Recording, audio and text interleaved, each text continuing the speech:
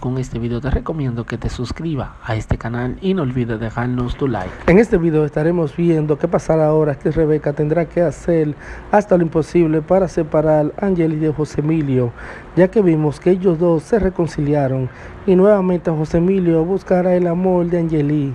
Esto es para que ella esté nuevamente cerca de él. También veremos que Rebeca tendrá que hacer de todo para así poder alejar a Angeli de José Emilio ya que Angeli lo que quiere es, es, estar cerca de José Emilio, sin importarle lo que éste haya hecho en capítulos anteriores.